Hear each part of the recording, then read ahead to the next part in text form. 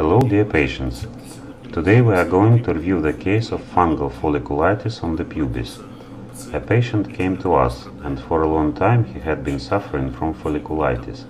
Folliculitis is an inflammation of hair follicles. Multiple abscesses are developed during it. You can see them on the picture. He went to different dermatologists to dermatovenerologic dispensary and the place of living However, only different antibiotics were prescribed there. Most commonly, these were unidox solutab antibiotics, minocycline, vilprafen. External magmas were also prescribed. However, they didn't bring an improvement and in some cases they even brought worsening of the process, meaning that secondary to antibiotic therapy, the number of inflamed hair follicles only increased. This didn't happen all the time, but in some cases it happened. So the patient didn't do any analysis. At first we only did culture tests from pustule.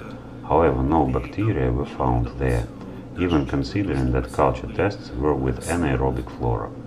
Secondly, in the area that was close to base of penis, there also were focuses of peeling. We took scraping and culture test of fungi from them, and as a result of that, we found Pityrosporum orbiculare or Malassezia furfur. What it is? These are basically two similar forms of fungus. You can watch a more detailed video on our channel dedicated to tinea versicolor.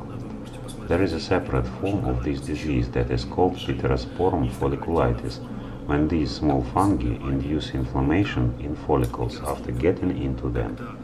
Considering that these are fungi, antibiotics do not influence them, and in some cases they are fertilizers for them to grow more and for clinical picture to increase. So this problem has to be treated by antifungal medications. The patient had ketoconazole prescribed, external ketoconazole cream, tablets internally and intramuscular longidaza injections. As a result of that, these rashes completely resolved within two weeks. This indicates that not all inflammations, even ones with abscesses, can be a product of bacterial infection. In this case, these are fungi.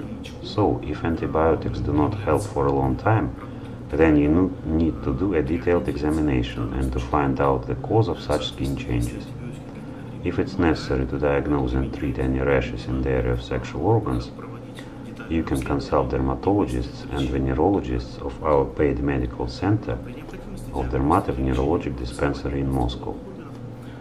We have experienced specialists who do diagnostics and treatment of such rashes. We are waiting for you in our clinic. Please subscribe to our channels on YouTube and Instagram. Thank you for your attention.